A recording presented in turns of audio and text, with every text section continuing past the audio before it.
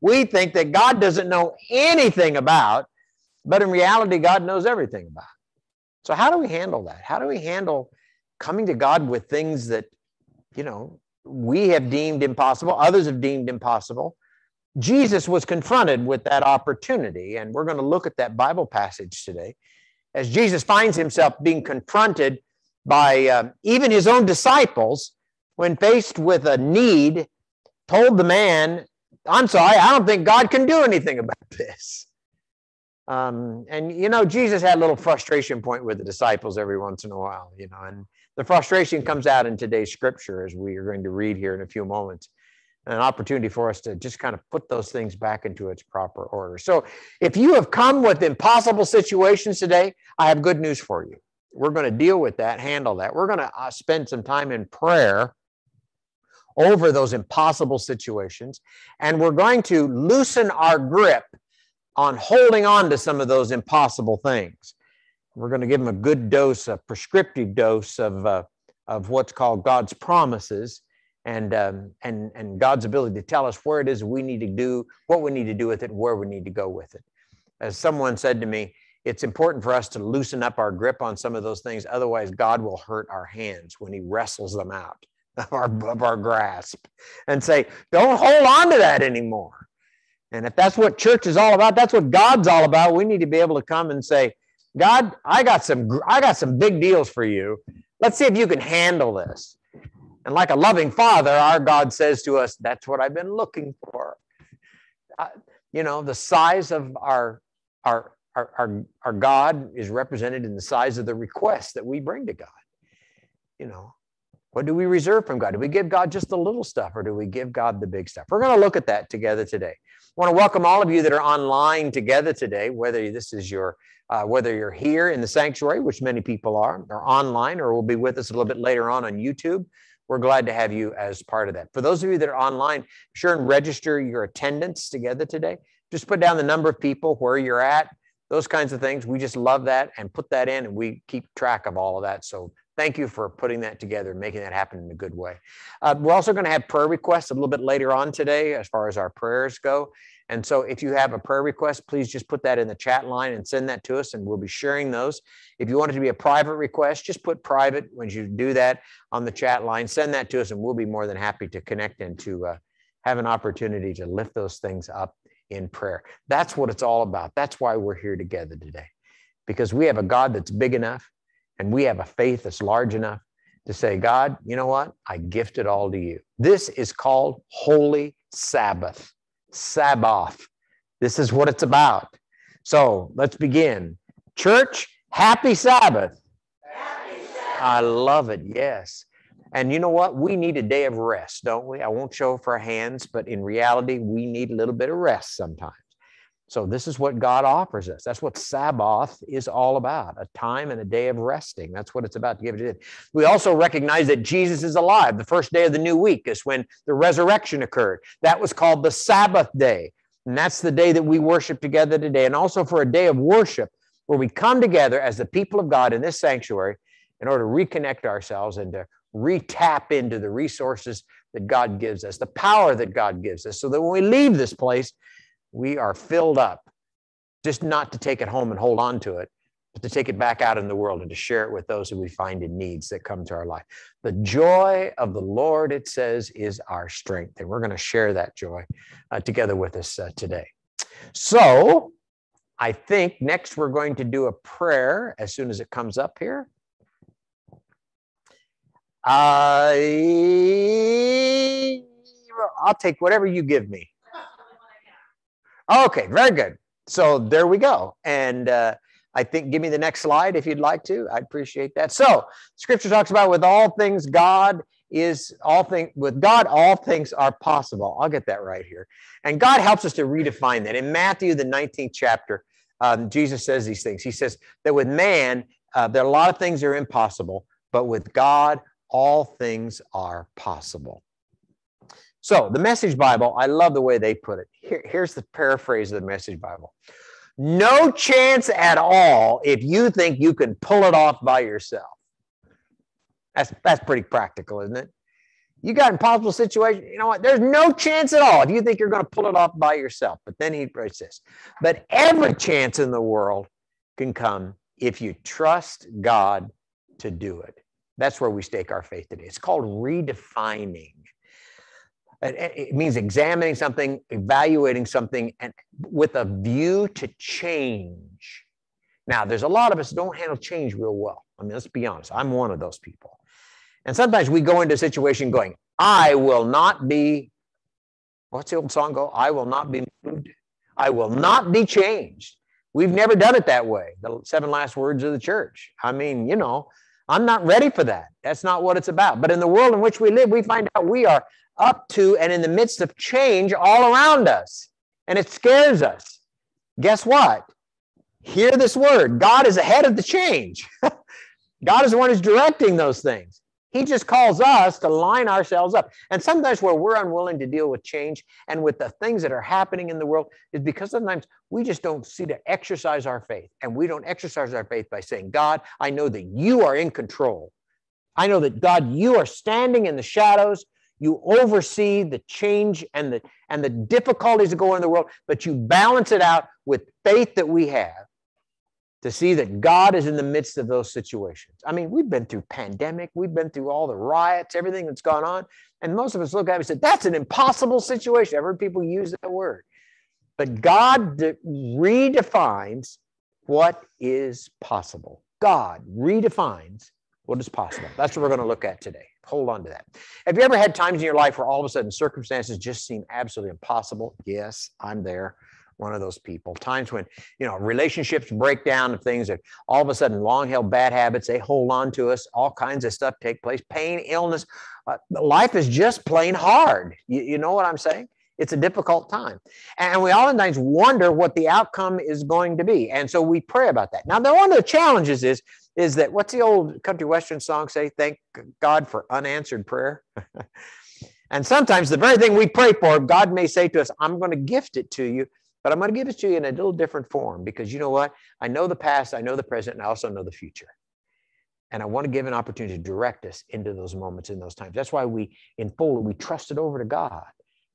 Impossible situations, you know, we, we do not know tomorrow, we don't see tomorrow, but we know God, we know good faith and what God has done, and we turn it over to our God. So that sometimes we just want to pray that prayer request that knows that God can make all things possible. Redefining, that's what we're going to look at today as part of our worship service. So, as we begin today, none other than Janet, the blessing of musical talent and ability, is going to share with us a little music in order to open up our worship service together today, playing her prelude. Janet.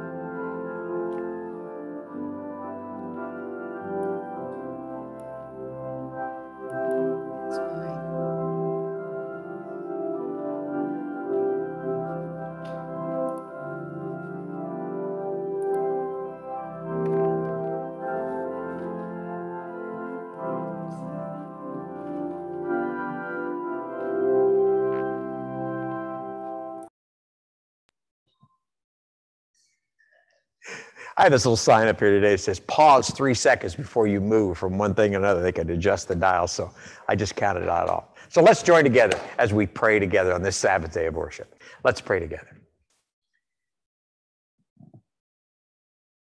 This is the day that the Lord has made, and let us rejoice and be glad in it. God is here, Jesus is here, we are here, joined in Sabbath worship. You know the song, Holy, Holy, Holy Lord God Almighty.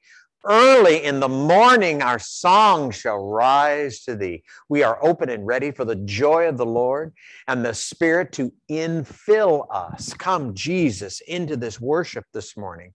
Come, Jesus, into our hearts and into our lives this morning, for our hope is built on Jesus. And all the people said, Amen. Amen. Amen. So, what better to do than to join together in singing that song? Our hope is built on nothing less. Let's give it a try.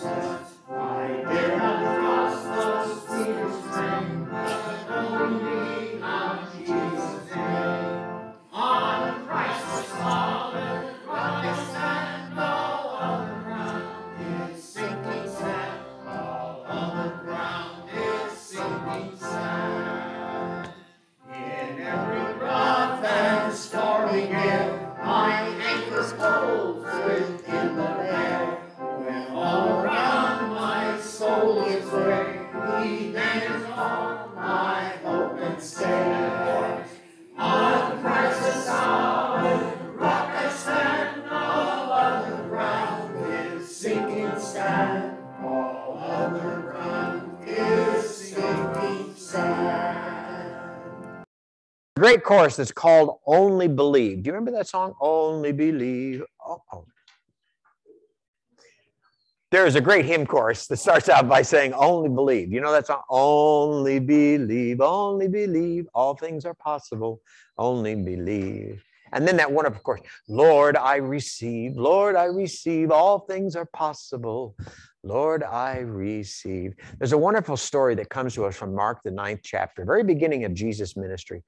And, and um, I'll share it with you today. It's a story about a man who brings his son to Jesus to be healed. Um, there are a lot of people who brought their family members or themselves to come and to be healed before Jesus. This is a, a man, a father who brings his son before Jesus in order to be healed. And, and, and he comes to Jesus and uh, and and all of a sudden he begins to ask the disciples if uh, you know if jesus could be able to touch or heal his son. And of course the disciples responsibility uh, was to simply say of course all things are possible with god. We've heard jesus preach about this before. Bring your son up. And all of a sudden he says to the disciples what should i do? And the disciples say what? I think this is impossible. I don't know if jesus can heal your son and all of a sudden, they begin to doubt what Jesus could do, anything about this poor boy and what was going on in his life. So the man goes up to Jesus, and of all things, he repeats the words the disciples said to Jesus. And he says, uh, Hey, Jesus, uh, can you do something about my son? Your disciples said that they didn't think it was possible. So if you can do something, I'd really like it. Now, this sets off the trigger for Jesus. You know, uh, and Jesus looks at the people around him, but especially the disciples, and he says to them this What a generation! Have you no sense about God? Have you not been listening? How many times do I have to go over these things? He says to them. How much longer do I have to put up with this kind of stuff? Oh. Now, if there's ever a time you wonder if Jesus ever had a little frustration expressed, it, it's in this passage of scripture from Mark 9. Because Jesus says, I have an expectation of my believers. And all of a sudden, you guys fail me sometimes. But he said, I love you unconditionally. And I know that God's at work in your life. And I know you're going to take over my ministry after I leave. He tells about those things, but he said, I'm going to tell you what I know. I know, he said, that God is able to do this. So what does he say to the disciples? Bring the boy here. Bring the boy here. And so what did they do? They brought him. Jesus asks, that's what we'll do. We'll bring the boy. When the demon inside of him sees Jesus and knows exactly who Jesus is and the power that he's dealing with, suddenly the demon takes this and puts this boy into a seizure, calling him to lay on the ground and writhe around and to foam at the mouth and all kinds of things. And Jesus looks at the boy's father and he says to him, How long has he been doing this? And the father said, ever since he was a little boy, many times it pitches him into fire to try to destroy him. Sometimes it throws him into the water to try to drown him. The enemy brings death. It, it causes us to take away those, those faith and belief of what God is able to do. Then the father said to Jesus, or the man said to Jesus, If you can do anything, do something. And Jesus looks at the Father and he says this If if I can do anything, uh, and the man says to him, Don't you have a heart, Jesus? Won't you help us? Jesus said, If it, there is no if among believers. How many of you are believers today? Don't have to raise your hands. I'll just take it to be. But he's speaking to us. He says to us, the witness that we are to have before the world.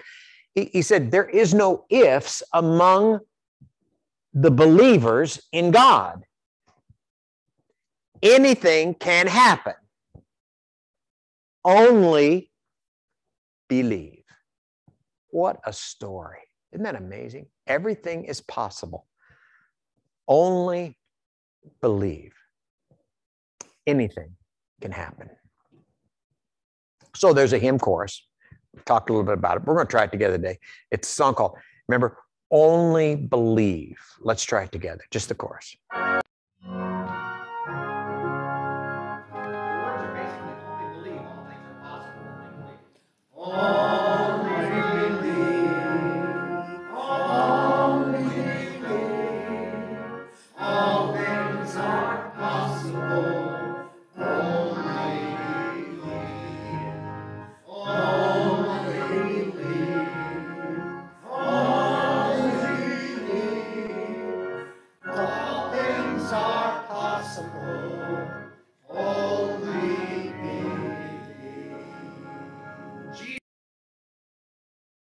Ifs among believers.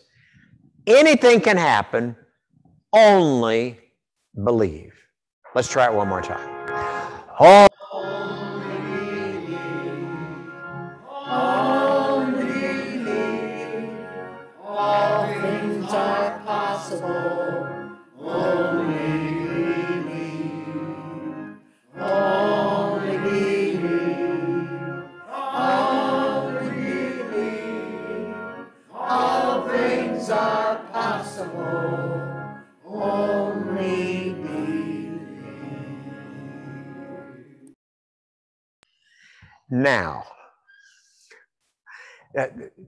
Pray for the impossible things in our life? I mean, yeah, but but, but are, are we are we open to the thing? And for some of us, we we've been there. I mean, we just abandon ourselves to that kind of faith. That, that's what Jesus said that everything is possible with God. But sometimes our God is so small that we limit and what, what God can do in our hearts and, and in our lives and in the circumstances and situation of our life itself. So um, in Matthew, the seventh chapter, the seventh verse, Jesus said this keep on asking. And he doesn't put an end to that. Not once, not twice, not three times. Jesus says, uh, uh, so it's not just one time, even though, you know, we did, but he says you need to also learn persistence. And it's not so much to get God's attention, but to get our attention. sometimes we just go, God, can you handle this circumstantial situation? And then God, don't hear what God wants you, and we go, well, God can't do anything. God can't hear me. That's the way it goes. That's not the situation. God said, I want you to learn on keeping on asking, regardless of what you see, what you hear, how you feel. Keep on asking. And he says, you will receive what you ask for. It may be in a different form than you think, but the prayer request and the answer will come. Keep on seeking and you will find. Knock and the door will be opened unto you. Seek and find. Knock. Keep on asking. So, um, what I'm asking for today is for us to look at a situation where all of a sudden we believe that God can actually do the impossible. It's so simple. The words are there, but we fall into this trap as part of our life of not thinking that can happen or understanding that what is possible with God. So even though I ask him a thousand times before, I, I have to come to a place where I am confident that God hears and answers my prayers. That's the mark of us as a believer. So that, that God will hear our prayer and then will reply to us with his love by demonstrating that for us. This is also simple. We've heard it so many times before, but now we need to put it into practice. You see, I believe that some of us here have come here today out of sleepless nights, out of worry and fear over some circumstance or situation or person in our family in our life. We prayed about them. It doesn't look like things are happening. We just shelve it away. We don't talk about it. We don't share it. We don't invite other people to pray for us as part of that situation. This week, I was dealing with a, a, circumstance somebody called me about and everything else. And I said, we'll, we'll be praying about that. And this was like a person coming to a fountain of water when you're, when you're dying of thirst. And they said, Oh, will you please pray? I'm exhausted. I don't know where to go. I thought, you know what? I'm going to pick up the burden for you. I'm going to keep on praying for you while you take a little rest. I'm going to keep on praying because I know everything is possible with God. You just hold on to that. In Jeremiah, the 32nd chapter in the Old Testament, here's what he says O sovereign Lord, you made the heavens and the earth by your strong and your hand and your powerful arm.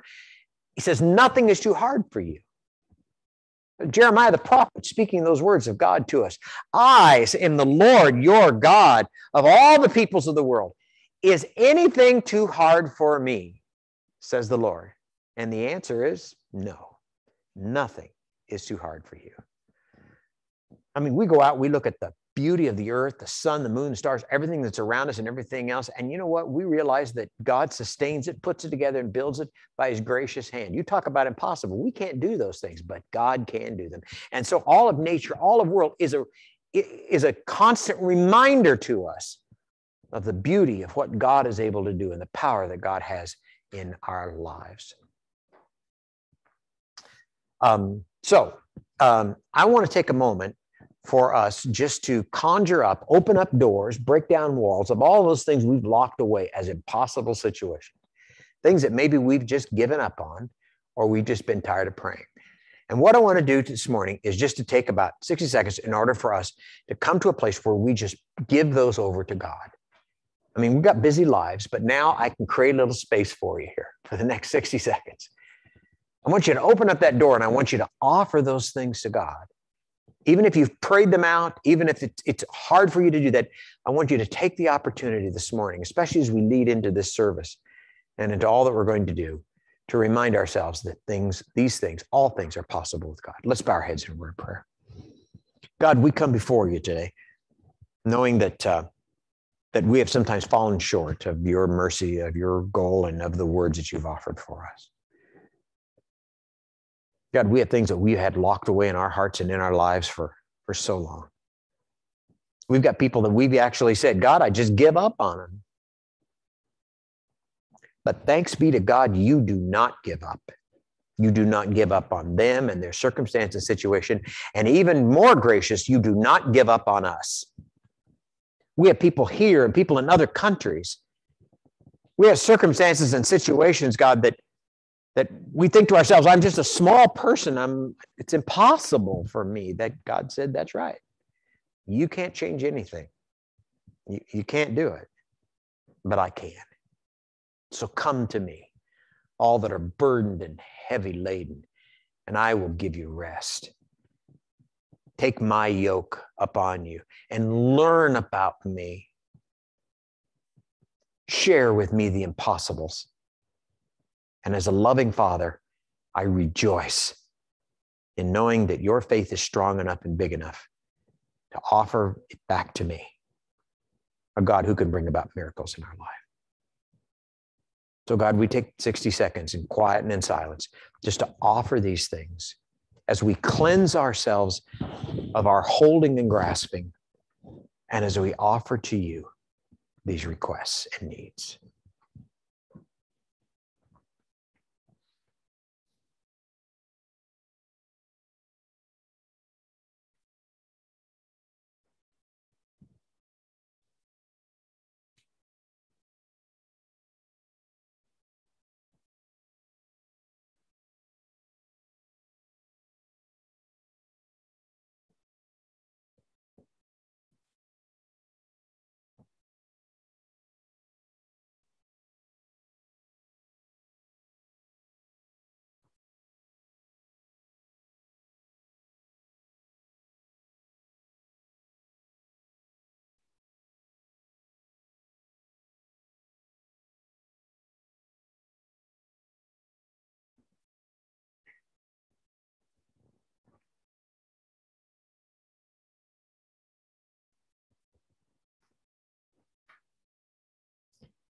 Thy will be done.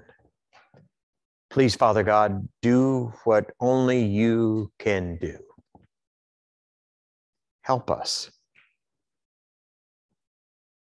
by your grace. And all the people said, Amen. Amen. There is a song that you were listening to this group of uh, folks from um, India singing. It's a little song called uh, Nothing is Impossible with God. Uh, it's a beautiful song. It's found in a lot of hymn books uh, back in about the 1950s and 60s, um, but written by one of the guys who was with the Moody Bible Institute. Um, and uh, this is one of his songs. It's got a great little tune to it. Um, but anyway, join it as we go along. Uh, for nothing is impossible with God. Here we go.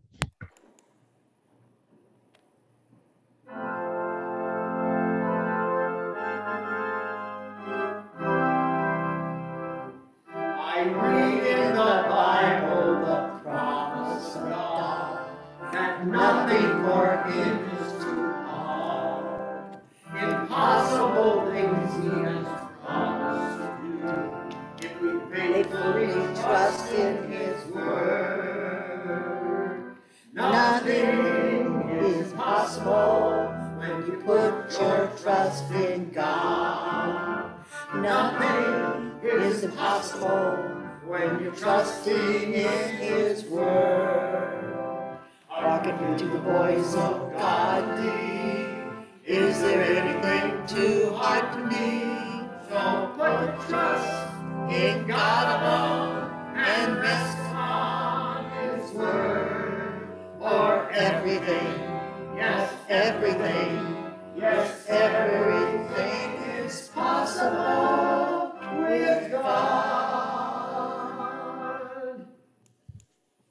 I love that little tune. I think it's kind of moves together and puts it together and it speaks the words that nothing is impossible with God. Um, a few years ago, there was a young man by the name of Spencer West. Um, Spencer West was uh, from here in the United States, and um, he was a remarkable young man. He had a debilitating childhood illness, and therefore uh, he was forced to. They were forced to remove and amputate both of his legs. But he grew up with a as a young guy that could just you know conquer mountains, just do anything he wanted to do. And so when he came out and he said, uh, I, I want to have a task of climbing Mount Kilimanjaro. Now, Mount Kilimanjaro in Africa is, is the highest freestanding mountain. You've seen pictures of it, uh, what it looks like at that point, 9,300 feet uh, at the very top. And, and so um, Spencer West uh, went there to Africa, and, and people were like, How in the world? I mean, some people make it to the top, but how in the world can you? You have no legs. And, and um, so they asked him, they said, Why would you do this? And he said, Because I want to redefine what is possible. That's what I want to do. I want to redefine to the world, and especially to people who have debilitating conditions, about, you know, what really is possible in being able to do. I, I, tell you that story because I think it relates very well to, to what we're talking about in this passage of scripture together today. Because Jesus, in this passage of scripture, says, uh, I'm going to present a model to you. I, I, don't know about you, but I love to have somebody give me three steps to a healthier life or losing 40 pounds or something else. I mean, we, we get into that kind of thing. Uh, that's what it's all about. Well, Jesus in this thing offers up for really one of the first times a prescription for not only the man who brought his son, but for each one of us as believers. Let me repeat that so that I've got you online with me. That the three things that Jesus offers up as his suggestions in the story about what, what Jesus could do for this young man was offered up and given to us as an example that we can emulate in our lives. So, for those situations and circumstances that you and I have in our life, we're trying to figure out what to do with them. Jesus says there's three things I want to look at. We're going to look at those this morning. The first is really this idea of identifying what the problem is. I mean, what's going on? What's happening?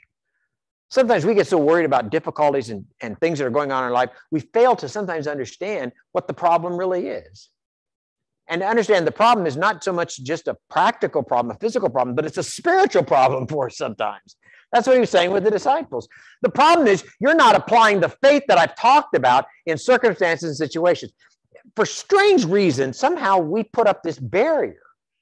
We, we say to ourselves, a choice, a decision of what's okay or not okay to give to God, what, what is too big and what is too small.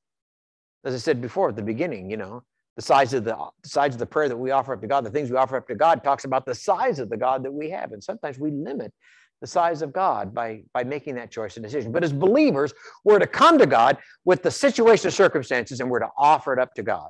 First thing God does, Jesus does in this story, is he says to them, he said, let me find out what the problem is and I'll identify it and put it together. The second thing he talks about is I'm going to offer you a prescription. I'm going to tell you what you need to do now with that whole thing. I love that part. God just doesn't say, speak it, say it, but now let me tell you what it is you need to do. Now, let me be honest with you. A lot of us love to go to the doctor, excuse me. We go to the doctor and the doctor gives us some medication, right? And we we we love. I'm sometimes you feel better after you go to the doctor, even before you take the medicine. You know, you ever get to that place? Oh, I just am so happy to find out it's not this or that, other things. We come home, we fill our prescription, we get home, we take about two pills, and then even though we have pills for two weeks, we take them for two days. I'm feeling better. I won't take any more pills. There it is. I'm done. Now, most physicians will tell you that's the worst thing you can do. Start out by taking not the entire series, but only a few, and then stopping. And then good luck. Ah, he says, I'm going to give you a prescription. I want you to take it home and I want you to follow it. I want you to do it. You know what the problem is? I'm going to give you a prescription. You take it home, you do exactly what I'm going to tell you to do. And then as a result, you're going to see what's possible in this situation. And then you're going to be about the task of demonstrating, sharing it with others, talking to them, sharing the word to another person, letting them know what is possible in this circumstance or this situation you will be living witnesses in this moment. a week ago, um, one of the members of our family, uh, Mark Lane, his sister, um, and her husband were expecting a, a, baby. She went in for her 20 week checkup, and uh, the doctor said, uh, I can't get a heartbeat. I have no idea. And uh, man, they went back the next day, had several more doctors to make the prescription of what was going on and what was happening. It was uh, it was that the baby is no longer alive and the baby. Um, this coming week, I'm going to be doing a funeral um, for her and for the family. And the reason I say this is because when I wrote her and told her we are going to be praying for her, uh, right before she went into the procedure, I, I just said to her, I said, you know, I said, we we know Connie and I know what it's like to lose a baby. We lost our very first. And I said, then they told me, they said, now when you when you get to be a pastor, I feel sorry for you, one lady said. And I said, What's that all about? And she said, Well, she said, because you're going to find a lot of people in your congregation and people in the world who are going to go through that same path, going to walk that same valley where they lose one of their children. And said, At least you're going to be able to speak to them not out of some third party understanding, but from people who've gone through that path with them yesterday I had a chance to talk to her, um, and uh, we just talked about things in her life, and I just talked about things that we'd heard, we'd done as part of ours when we lost our child. And I said, you know, I said, I want you to understand, in the midst of all this situation, it seems absolutely impossible. There's an impossibility of having another child, but you know what? I, I'm telling you that things are possible with God, and believe in that. And that's what our service is going to be about. It's going to talk about those things about how God gives us hope, God rescues us, God brings us back. God seeks to make his presence known in our life and in our living. He gives us the possibilities of what it is that we have. All we have to do is to do something with it, to share it, to be that person of hope and ministry in the world in which we find ourselves living. So the first thing was problem uh, Jesus comes out and he says, You know what? I understand. I know what the difficulty and the problem is at this particular point. And the problem is what you just said in your response, and that was, If I can. Jesus said, Let me tell you what. He said, Yes, I can. I don't know how else to tell you. Yeah, yeah I, I, I can do this. I have the faith, I have the mercy, I have the love, the grace for you in order to seek to make a difference in your life and in your living. I want you to hold on to that and I want you to make that kind of a forefront reality of what's going on in your life and, and, and what's happening. Uh, in one of my churches, I'm uh, every midweek we would have a um, midweek kids club, and uh, I got to be the person who headed up the, the, music and kind of dealt with them and all that. And I said to them, I said, uh, you know, I got a song to teach you. You know, if you've been vacation Bible school, you know this. And I do this little song, and the little song was called uh, "Our God is bigger than." Uh, my God is so big. My God is so mighty. Um, you want to do you have that on the piano? No, she's giving me that look that she doesn't. Okay, very good. Don't worry about that. Don't worry. Okay. The song goes like this My God is so big. My God is so mighty. There's nothing my God cannot do. My God is so big. My God is so mighty. There's nothing my God cannot do. The mountains are His, the rivers are His, the stars are his handiwork too. My God is so big, so strong, and so mighty. There's nothing my God cannot do for you. Few months ago, I went back to that community and uh, I was uh, in the grocery store. I was walking down the thing, and all of a sudden, this little kid stands there and he goes, I thought, I got it. I got the message, you know. Now, what really made me feel old was when the person who already has is is is older and has kids looks at me and goes, "Remember this, Pastor Phil?"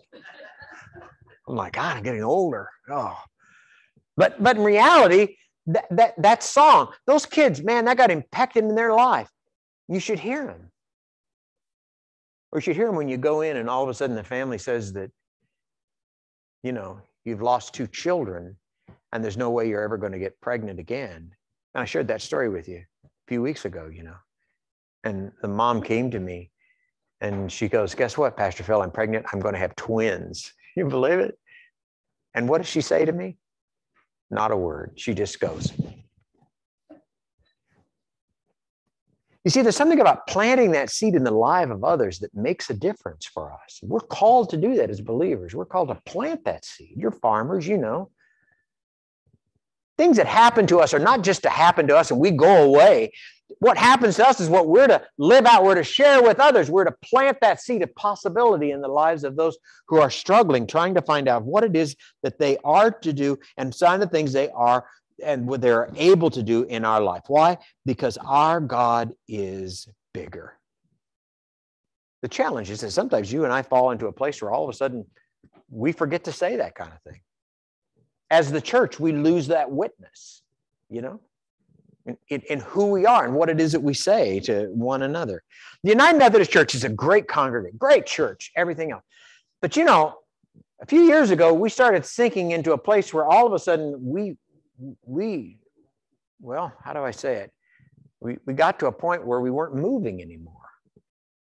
We were kind of accepting a steady stream of, you know, we're losing members we're losing churches. This past week, I, have to tell you that on, on Wednesday night, we had an open invitation for anybody who wanted to come to join us online for a Zoom meeting at seven o'clock. We got another one coming up this Wednesday. But uh, we talked about the fact, what scared me was that we're losing, we've lost a record number of churches this year have closed in the United Methodist Church in Iowa. I mean, we celebrate their ministry, but where did you go? And I understand that God's sometimes trimming off the, the fat, you know, all those kinds of things. But in reality, what, what's happened to us? And one of the challenges is that what's happened is we just don't move anymore. And when you don't move anymore, guess what? You become a monument. a lot of empty buildings that are monuments to what was. You see, I, I loved it because we had people beginning to talk a little bit and, and say what it is that we want to do as a congregation, where we want to go with this thing. What do we want to put together? How, how do we want to keep our, our faith alive? And how do we want to move out into our communities and become those kinds of, of stations for people in, in their life? Jesus said, We've got a t- situation, circumstance in our life and in our world. I'm, I'm thankful that this church is trying to deal with this now rather than getting to the point where all of a sudden we become like a submarine where we batten all the hatches and close the doors and prepare to sink. That's great for submarines, but it's lousy for churches. That's not who we're called to be. And I give thanks that we're not that way. We've got a Chautauqua coming up here in a few weeks out there in the parking lot, a, a tent. We're doing outdoor service. We got block parties. We got stuff we do in order to include our community. We found ways to move out into this community, even by what we're doing today with 13 plus people who are online with us, who are receiving the mission and the ministry of this church. A few years ago, that didn't happen.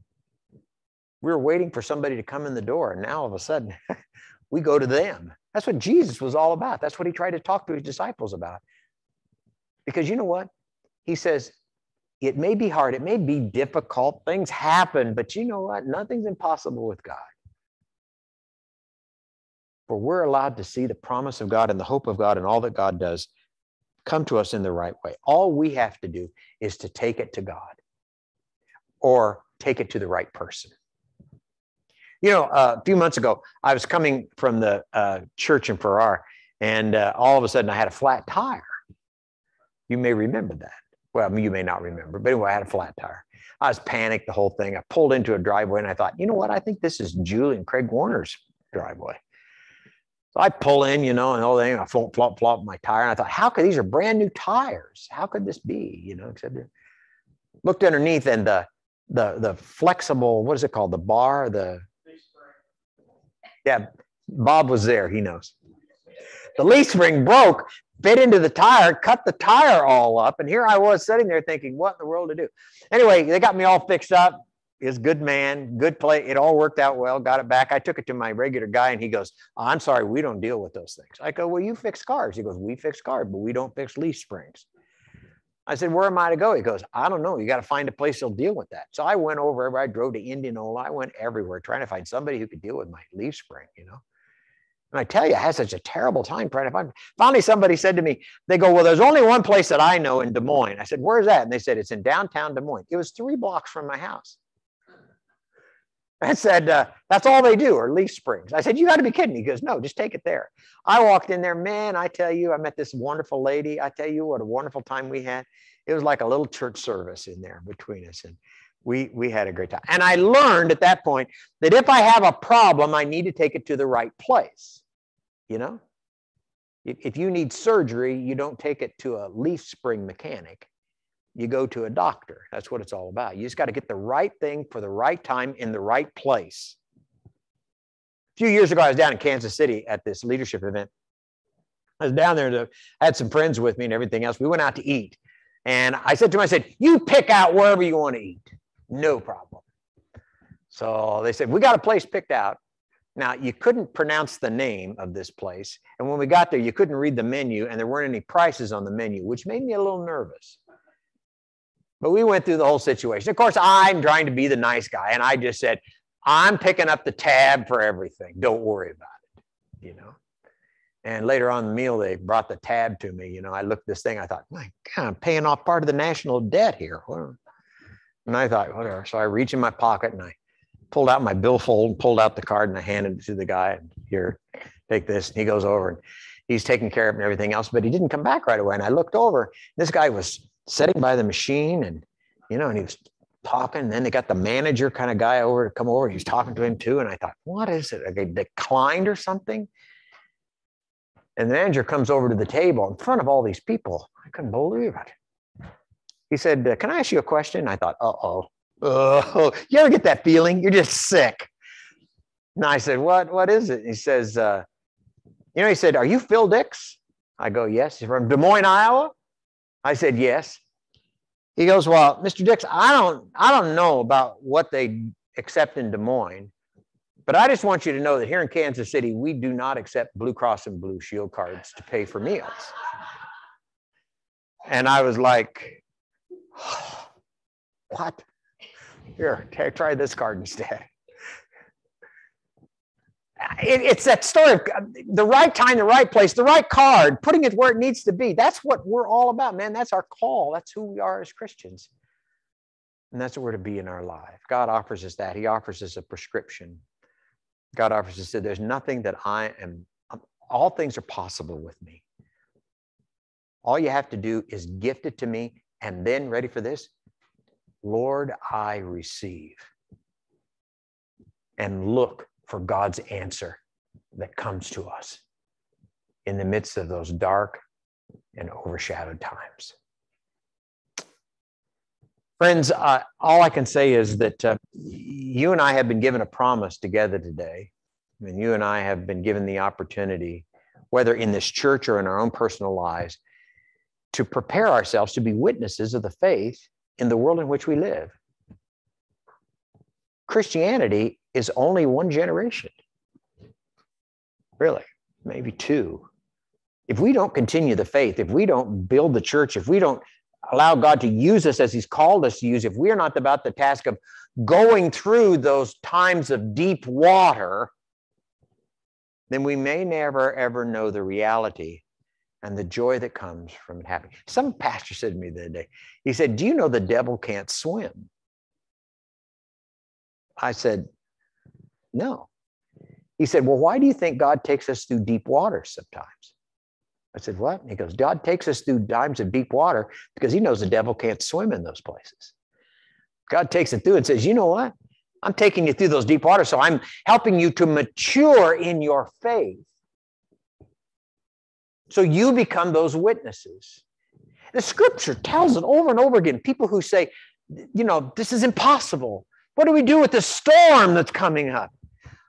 I, I, I want to see again, says blind Bartimaeus. It's the golden thread that runs through people coming and say, This is not possible. Nothing can happen. What do we do with Jesus? We saw him crucified, dead, and buried. What can we do? and quietly, Jesus says to us over and over again nothing is impossible with God. If God can raise Jesus from the dead, if God promises to give us life and that life being eternal, that we'll see each other again and our hearts will rejoice and no one will take that joy from us, we have hope. with faith. James says in the scripture, when problems and difficulties come into our life, grab a hold of them and hold them for all they're worth. Because you know what? Those things come in order to lead us into a time of more faithfulness. It leads us into a time of endurance. It leads us in a time where we mature where we move to a place of maturity in our faith and in our trust in Christ. If you look at your grandparents and others, if you look at people on mission fields, if you look at those folks, they are becoming mature in their faith. You turn it over to God, and you know our God is able.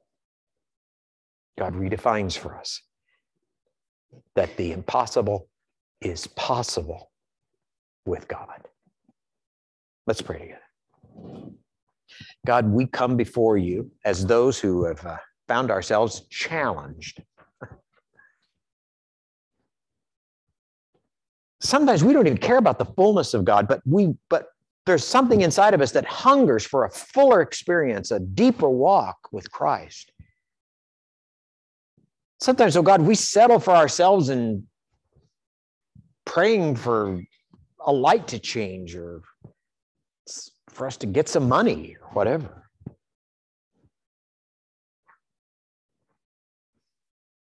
And God says, I specialize in loving you, in creating you, and within you a hunger for more of me.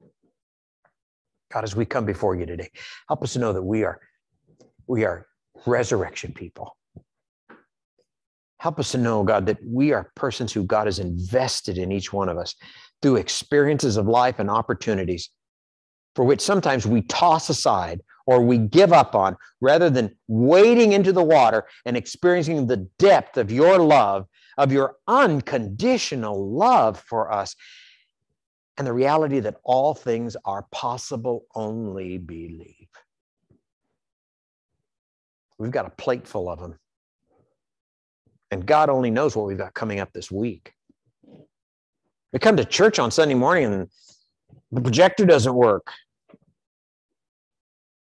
We think, How long, oh God? But even in the midst of that, we still have church. In the midst of that, we still have faith. In the midst of that, we still have a story to tell about how God was with us and we've seen it manufactured. We see it created in front of us and we give thanks. Be with us this day. Lead us into paths of right living. Help us to be able to speak the word, Thy will be done. Help us to release those things that we are holding on to with all of our energy and strength. Help us to dig up again the things that we have buried because they were dead. We pray for a resurrection this week of remembrance, of opportunities for us, oh God, to learn of you, to rejoice in you, and to know that our God is a great big God. For all this we ask in your precious name. Amen. Amen. Friends, we're going to do what we do best, and that's pray for others who find themselves in some needs together today. I'm going to go over a list of those.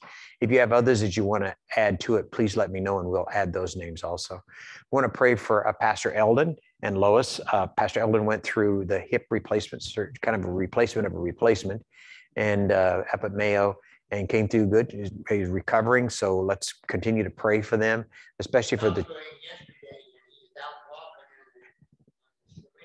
That's what they do. They throw you out of the hospital right away. They don't even give you a chance anymore to get pity. I mean, they just send you out, you know? Isn't that what we're talking about today? You know, move on. You know, do you imagine what happened if they let us actually stay in the hospital for as long as we want to stay sometimes? You know, sometimes we have to, but, you know, move it out. Yeah, we'll pray for him for that. Uh, Janice uh, Gregerson, who had her hip surgery uh, this past week, I, I don't know if she's home yet or she was maybe coming home. I'm not not certain. Maybe today's the day for her to show up. I saw a note about her daughter saying that maybe that would be a possibility. Anyone update? No. Okay, no problem. We'll just pray for that. Uh, Sarah Shonrock, uh, that's Jolene Brady's good friend. Uh, a cancer has returned, and we want to pray for her and her family, uh, for wisdom for the cancer team that are working with her, and also for supernatural healing. What's what we've been preaching about today. Our God is big enough, our God is able. Pray for our high school graduates. There is a mission possible. I mean to tell you, they're going out there in the world and everything else. I was talking with one of the parents of the of one of the kids that graduated, and I just talked what was going on, what was happening. They gave me the word, and I thought, yes, I'm feeling like there's hope here at the end of the tunnel. Um, this is a great thing. Pray for Nick Cravaro um, over from the other church. He broke his arm in four places, and uh, he's an electrician. So now he gets to sit in the office. I've discovered that electricians don't like to sit in offices, uh, they like to be doing. And uh, so pray for his patience, as his dear wife Karami said to me. Uh, pray for Kurt Prather, who's usually online with us. Oh, is he today? Kurt, welcome. Good to have you. We'll remember you in prayer. Uh, Kurt has been joining us repeatedly at different times, and he received a, des- a diagnosis last week during a procedure that uh, he has uh, cancer uh, in the colon. And so they're going to be doing some surgery and move him forward. It turned out to be malignant. So they're even doing more surgery to get things together. And I talked to him about that. And he goes, I said, Are you worried? Are you nervous? No. He said, Whatever. You know, God's there. I thought, Oh, you won't come preach to me on Sunday, I mean, works out good. Pray for Terry Holdridge at the other congregation, his continued healing. As part of that, our missionaries in Haiti, uh, Michael Schonenschein uh, and his wife, uh, Hope. Um, they're the people who he was shot know, while he was driving the vehicle and it was airlifted out, life flighted out to uh, New Orleans. And have a video of him this week where he came up and was talking about that, thanking everybody. He's beginning to get some feeling back. And so doctor said that it may take months and then we'll see where it ends. But that's a good thing for him. Prayers for our friends in Uganda. We heard from him this week. Both she and her daughter uh, wrote us to tell us that they're fine. It was short note, but they're still in quarantine. Yeah. It's kind of like when the old rockets went up, you know, and they got behind the moon and they couldn't get communication. You had no idea if they made it or not. You know, I've been thinking about praying about them because I thought we've not heard anything, you know, and then when the rest of the world, friends, there are people who are falling apart. I mean, with the COVID thing, it's it's a really struggle, and so that's good. Thank you. I just thought about that again this morning. I thought, boy, I hope we had a word from that. That's good. By, by the way, today is the last day to leave a card. I'm gonna, uh, take that home today and get those packed up, uh, with the, um, prayer shawl over there. And we've got good stuff over here. Uh, take a moment to see that, put out a card and note and make that happen. We want to pray for our country, the path where we are, the path that we're going, uh, the work of those that we called into leadership who are, are leading for us. Uh, also prayers for our people who are in our, our service, whether here in the nation or around the world. Uh, continue to pray for them, especially, especially the vets who are in needs. Um, I've been I'm dealing with some of that this week um, with that post-traumatic stress piece, and I want to just kind of uh, lift that up uh, as part of that. Um, also, prayer for those with COVID, uh, not only here but around the world, and for the vaccinations and all those kinds of things going on. Pray for our daughter Carla. Uh, do that, and I also want you to pray for my niece uh, Derby. Uh, she was taken to um, I think Cincinnati or uh, Indianapolis for a surgery. She was born with some challenges, uh, and now she's about 13 years old. And now came this surgery they had to do in order to reattach the esophagus and make airways bigger and all kinds of stuff. And it was a long, dangerous, traumatic surgery and uh, she made it through. She's in a lot of pain, and they brought a pain management team in to try to work with her, and it's just it's just a slow struggle, and she's got some uh, temperature. I just got that this morning, and kind of stuff. So I want you to pray for her, for family, uh, for her father especially, who was unable to be there with her, and I just uh, I just ask you to just kind of lift them up in prayer. Okay, prayer requests that we have here are online. We're going to go online first and I'll come right back to you. So, what do we have for online?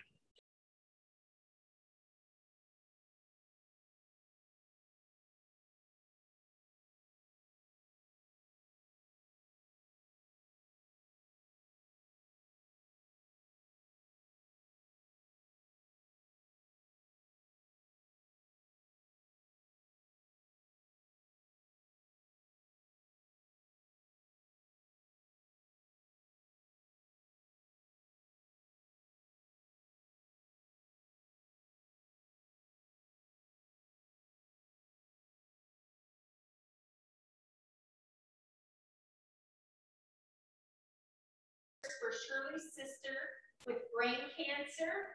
Oh, from John Green, sorry. Prayers for Shirley's sister with brain cancer. Prayers also for her John's sister's husband, Larry, with cancer of the brain, lungs, bones, lymph nodes that is terminal. Whoa. And then someone. There's a situation. And then also John mentioned he learned of the passing of his mentor and boss at his former workplace. His name was Jack. Hmm. We also have prayer requests from Kevin Bortz. Prayers for my niece Nicole. She's 35 years old at the first stages of breast cancer. Um, Candy, prayers for Rich's brother Troy. He's 84, kidney recipient five years ago in Mayo after gallbladder surgery. His kidney took a hit from it, and they are grateful and blessed in their beautiful yellow Corvette, 2000 Corvette trip that they recently had, and they're glad to be home. And let's see if there's anything else. I believe that's it. Let me add for that the prayer for the folks down in Florida um, for those that uh, you know have gone through this process, those who've lost people, those who are still in that uh, that vigil to wait and see. We want to just pray for that whole situation down there as part of that. I'd like to have Margaret at Georgetown, Texas.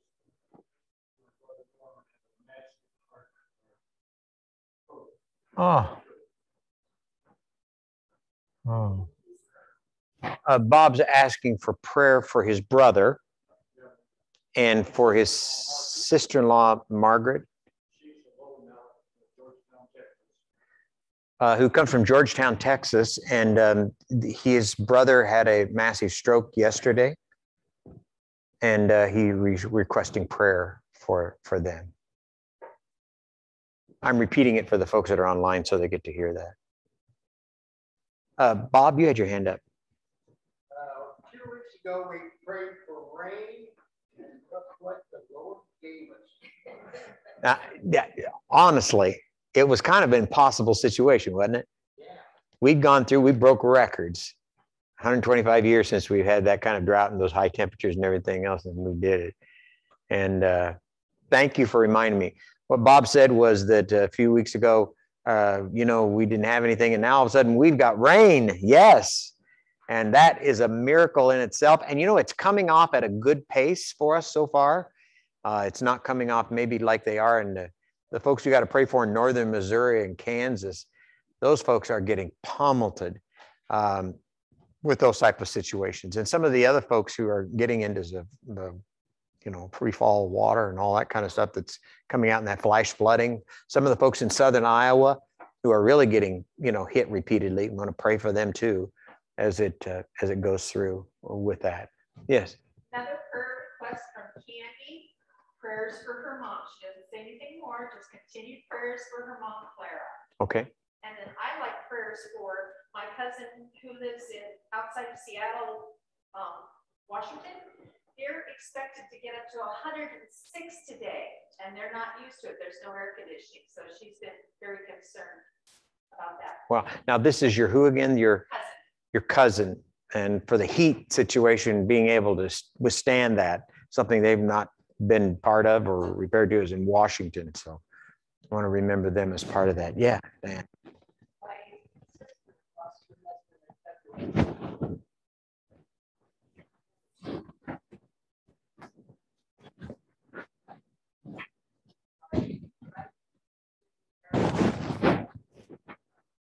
I'd like prayers for my young sister. Start a new chapter in her life. Um, she sold her house in Minnesota. They had a house in Arizona where they planned to retire. So she's, she's going there. her company this week as they drive. So and prayers for a new chapter. prayers for uh, Diana's sister Barb, who is uh, uh, lost her husband and kind of in the process of just putting things together, finding new new new normals. Uh, as part of that, we just continue to pray for her and for the needs uh, that are there. I'd like you to pray for Darcy also. Uh, Darcy's my niece um, uh, who uh, lost the baby on Thursday uh, for her and for their family. So please lift them up in prayer. Prayers for Stella Russell, surviving spouse of Reverend Roger Russell, Okay. who's diagnosed with breast cancer recently. Ah, and Also, her first name again is Stella, Stella Rogers. Stella Russell. Stella Russell. Okay, Stella Russell. Um, and prayers for her. Uh, it would be the wife of a pastor. His name was Roger Russell, um, who um, just she kind of deals with that cancer and everything else. Just pray for her. You know, when you lose your spouse, you feel a little alone in that process. So, And the second thing, prayers for the- all those churches that you mentioned are closing, one of which was a former parish of mine. Hmm. Uh, And also, because tomorrow is John Wesley's birthday. uh, Prayer for the revival of the spirit of John Wesley in those communities. let me tell you, Wesley was created and made for that. Um, just shared that uh, you know we want to continue to pray for the churches that have closed, and the communities that are out there, and that um, the spirit of revival. Since John Wesley's birthday comes tomorrow, uh, that we want to put that same spirit of revival back in the communities and in the churches that we serve, and in our church too. How about that? Move us to the next level. What we need is to have a Chautauqua or something, a revival service. You know, get ourselves ready to go. Put up a tent. Do we have a tent we could we get Janet to play? You know, all that. Man, we could make that happen. And you know, we should try that maybe July 11th. See what could happen. There you go. I'll talk more about that in a second. With God, all things are possible. Absolutely. With God, all things are possible. Let's bow our heads in a word of prayer. God, that's the word. We do lots of prayer requests around here, but boy, we're going to load up today. But that's okay. That means the Spirit is moving and we're getting moving in some of those things. We're offering them up. Even the little things that we may consider little, but to others, it's their life. We have someone to come to who hears and answers prayer. Our Father who art in heaven, holy is your name. It's we're unable to do it. And that may be a stark reality for some of us because we've always felt we could, but it's like turn it over, gift it over, take it to the Lord in prayer. And that's what we are doing. And God, this is just the tip of the iceberg. We have more. We have needs in our life and circumstance and situation. We came here today weary with so many things that has caught our focus and our attention so much so that sometimes we just are so focused on those things that we forget about you as even being the option, the option, the option that you created us with and for to make a difference in the world in which we live so that we might be witnesses of that. So we pray over these requests today and other requests that we have, things that we barricaded, buried, whether we've hidden them in our hearts or in our lives, with circumstances and situations, they'll not knock us down. We take it to the Lord in prayer. Jesus, your son, said nothing is impossible. That includes death itself and the hope of eternal resurrection. Your whole ministry, God, from the beginning, talks about that you love us and care for us, and nothing is impossible with you. What it's calling us to do is be in a relationship with you. And it's so interesting that the hardest thing in our life is simply to turn ourselves over to the love of God who loves us and created us with an unconditional love. So today, God, we turn those things over. All the baggage we brought here today, we're leaving it right here in this church and on this altar. We're leaving our concerns for friends and family. We're leaving our concerns for worldwide chaos. We're leaving the concerns about our world, our government, with all the things that bring us down. We wake you up so you can extend your hand over all of this and say, Peace be still. Give us the ability to see these movements of God, these God winks, and be able to share them with others who also find themselves in turmoil and in captivity to worries, fears, and doubts. God, along with what we've lifted up for you today, there are still things within each one of us that we've just not spoken. There are things that we have in our life, family and grandkids and children, that we just need to have your word spoken over. Acquaintances and friends and family. Speak the word peace, be still. And now, God, in order to reestablish that relationship with you, we want to offer those things over and then we want to open ourselves to the infilling of your spirit once again so that your spirit picks us up and carries us, lifts us up, guides us and directs us, and gives us hope. Hope that's built on nothing less than Jesus. So let us take 30 seconds or so just to quietly, personally open ourselves to God with needs or to offer up to God our thanksgivings and celebrations. Let's go to God.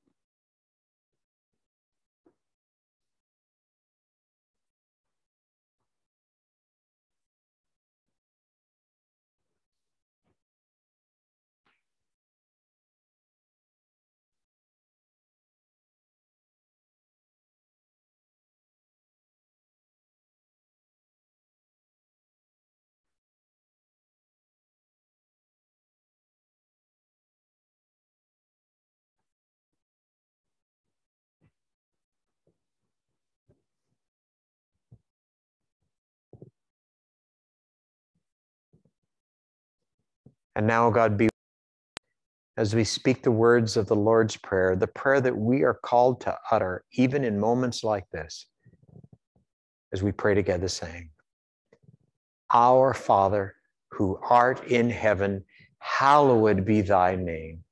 Thy kingdom come, thy will be done on earth as it is in heaven. Give us this day our daily bread, and forgive us our debts as we forgive our debtors. And lead us not into temptation, but deliver us from evil. For thine is the kingdom and the power and the glory forever and ever. Amen. Amen and amen. Okay, uh, remember, uh, we do our worship services at 8 o'clock uh, tonight. A little mini worship. Please join us for that, or midweek at 8. Uh, we'll be glad to have you as part of that. Um, we got about spend about five minutes doing scripture, message, prayer, and all kinds of stuff. Take us with you on your vacation. Okay, thank you. Uh, our offering, um, thank you so much for your giftings and your faithfulness. There's offering place in the back today. Please take care of that or get a hold of Teresa and talk to her, and we'll be glad to receive uh, all that you seek to gift over to the ministry of this church. Uh, Chautauqua is coming up. What is Chautauqua? A tent meeting, revival service. We're going to do it in the parking lot and have fun time. And uh, we want to get you all wound up for it. Sunday, July the 11th. Now, the admission is free. You just have to bring somebody with you. All right. I think that's what we decided. But if not, that's what we decided. Bring somebody with you. And if you don't know how to do that, join us Wednesday night at seven o'clock online and uh, use my that regular one that we use and then we'll have a chance to uh, connect with you a little bit again this week and uh, pray for our churches, both of our churches and congregations. Okay, so we're going to have this little song we're going to try called Lord Send a Revival. Janet is an expert in this song, so we're going to try it. The words are Lord, send a revival, let it start in me. We need most is the Holy Ghost, and the Holy Ghost is free. Fill our cup, fill it up as full as it can be. Lord, send a revival, and let it start with me. All right?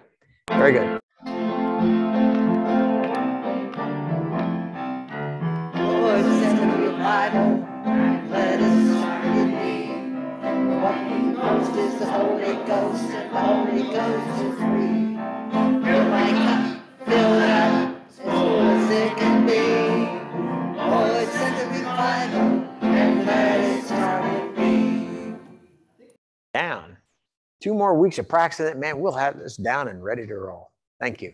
Okay, uh, next slide. A departing song. We're going to do a little song called My Hope is Built on Nothing Less. We're just going to do one verse of it, but let's try it together. That'll be kind of our faith song as we take out of this place. Here we go.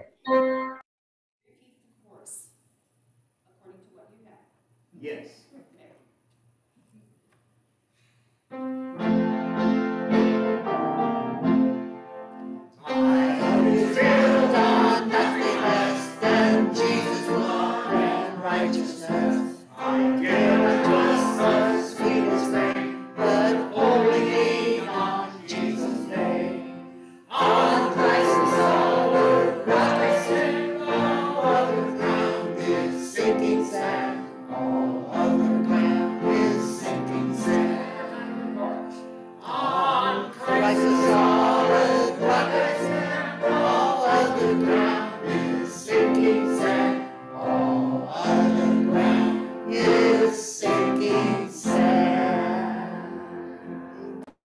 So thankful for Janet. I just have to say that. And Jerry and our, our man at the back, Rodney, for Teresa and Bill. We all need prayers for everybody today as we go through these wonderful little times of challenge. I tell you, lead us on. Okay, friends, as you go from this place, may the Spirit and the presence of Christ be with you all as you go from this place. Be rest assured that God's got this. Huh? God said, go out in the world, sense of hope in your life, and live with expectation. For this we pray. In the name of the Father, and of the Son, and the Holy Spirit, and everybody said, Amen. amen. Friends, go be the church. Go be the church. Yes, amen. Get out of here. Go be the church. Come on, get out. Go.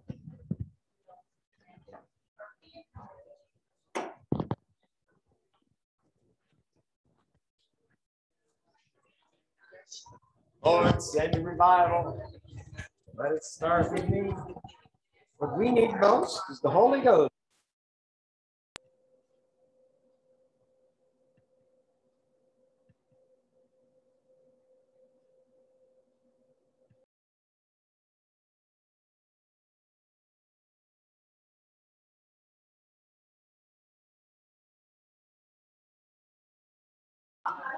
There we go. Can you all hear me? Fine, I get this thing back in order here. It's good to have all of you here together today. Let me see. I got to pull up the sheet here so I can see exactly everybody who's here. Oh, very good. Kevin, good to have you here today. Thank you, my friend. You're for being part of that. I think you're I think you're muted, Kevin. There. We had planned on coming in today, but we got busy outside and didn't make it. It's okay. It's summer and we're doing take us on vacation. Well, we'll be there. We'll be there next week and definitely the 11th.